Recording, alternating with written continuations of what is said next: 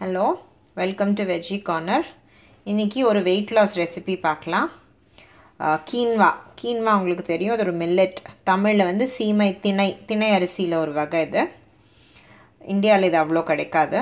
இந்த கீன்வாவும் பார்லியும் வச்சு ஒரு தோசை ரெசிபி பார்க்கலாம்.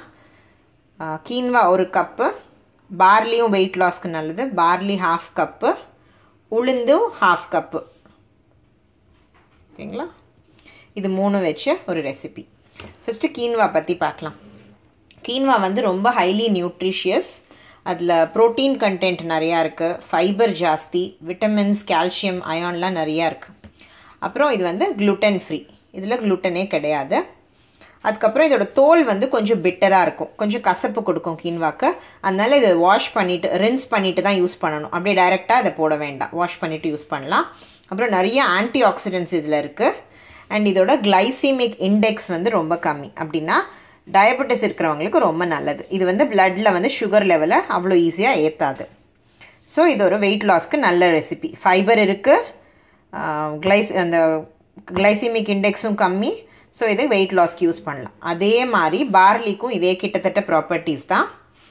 இதுவும் ரொம்ப நியூட்ரிஷியஸ் மினரல்ஸ் ஃபைபர் எல்லாமே இருக்குது பசியை வந்து தணிக்கும் இது பசி வராமல் பார்த்துக்கும் பார்லி. அதனால தான் சூப்லலாம் பார்லி ஜாஸ்தி சேர்ப்பாங்க. அதுக்கு அந்த ஃபில்லிங் ஃபில்லிங்னஸ் கொடுக்குற அந்த டெண்டன்சி இருக்குது பார்லிக்கு. ஸோ பசி வராது. அண்ட் கால் ஸ்டோன் வந்து ப்ரிவெண்ட் பண்ண இது ரொம்ப ஹெல்ப் பண்ணும்.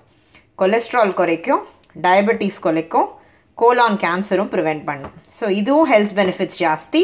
ரெண்டுமே வெயிட் லாஸ்க்கு ஈக்குவலாக யூஸ் பண்ணுறது ஸோ ரெண்டுத்தையும் யூஸ் சேர்த்தே ஒரு ரெசிபி பார்க்கலாம். பட் இதில் வந்து gluten இருக்குது இது வந்து கீன்வா வந்து gluten ஃப்ரீ ஆனால் பார்லியில் gluten இருக்குது இஃப் இது வந்து உங்களுக்கு gluten ஃப்ரீ ரெசிப்பியாக இருக்கணும்னா இதுக்கு பதிலாக ரைஸ் யூஸ் பண்ணிக்கோங்க ஹாஃப் கப் இல்லை gluten ஃப்ரீயாக இருக்கணும்னு இல்லை அப்படின்னா பார்லியை யூஸ் பண்ணலாம். பட் வெயிட் லாஸ்க்கு இதுதான் இதுதான் காம்பினேஷன் வெயிட் லாஸ் வேண்டாம் gluten ஃப்ரீனா இதுக்கு பதிலாக ரைஸோ ராகியோ யூஸ் பண்ணிக்கலாம்.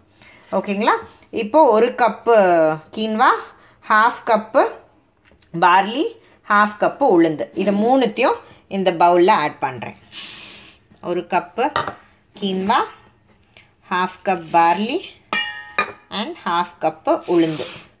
மூணுத்தையும் நல்ல டூ டைம்ஸ் வாஷ் பண்ணிவிட்டு கீன்வா வந்து க ஃபில்டர் வச்சு வாஷ் பண்ணணும். இல்லைன்னா ட்ரெயின் அவுட் ஆகிடும் ரெண்டு தடவை வாஷ் பண்ணிவிட்டு ஒரு த்ரீ டு ஃபோர் ஹவர்ஸ் ஊற வச்சுட்டு பார்க்கலாம். இப்போது டூ டைம்ஸ் வாஷ் பண்ணிவிட்டேன் இது பாருங்கள் குட்டி குட்டி கிரெயின் இருக்கிறதுனால நம்ம ஃபில்டர் வச்சு வாஷ் பண்ணலன்னா அது போயிடும் அது. அதனால் இதை டூ டைம்ஸ் வாஷ் பண்ணிவிட்டு three to four hours soak பண்ணிவிட்டு பார்க்கலாம் அந்த ஊற வரைச்ச கீன்வா பார்லி அண்ட் உளு உளுந்து அரைச்சாச்சு. அரைச்சி உப்பு போட்டுட்டேன். இதை டிரெக்டாகவும் இப்போ வாக்கலாம். இல்லை ஒரு த்ரீ ஹவர்ஸ் புளிக்க வச்சும் வாக்கலாம். உங்கள் வசதிப்படி. இப்போது தவா காஞ்சிருக்கு. ரெகுலர் தோசை மாதிரியே வரும்.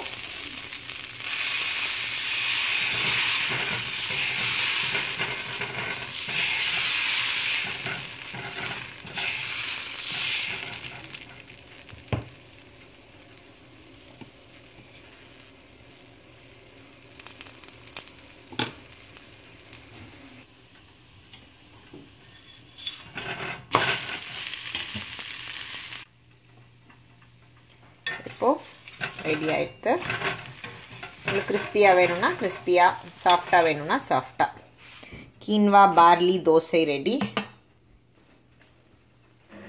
இது வந்து ஃபாஸ்டிங்க்கும் இந்த ரெசிபி யூஸ் பண்ணலாம். ஏன்னா அதில் ரைஸே கிடையாது. வெயிட் லாஸ்க்கும் யூஸ் பண்ணலாம். கீன்வா பார்லி உளுந்து போட்டு ஒரு தோசை. சட்னி சாம்பார் குருமா எது வேணாலும் வச்சு சர்வ் பண்ணலாம். ட்ரை பண்ணி பாருங்கள் ரொம்ப ஹெல்த்தி தேங்க்யூ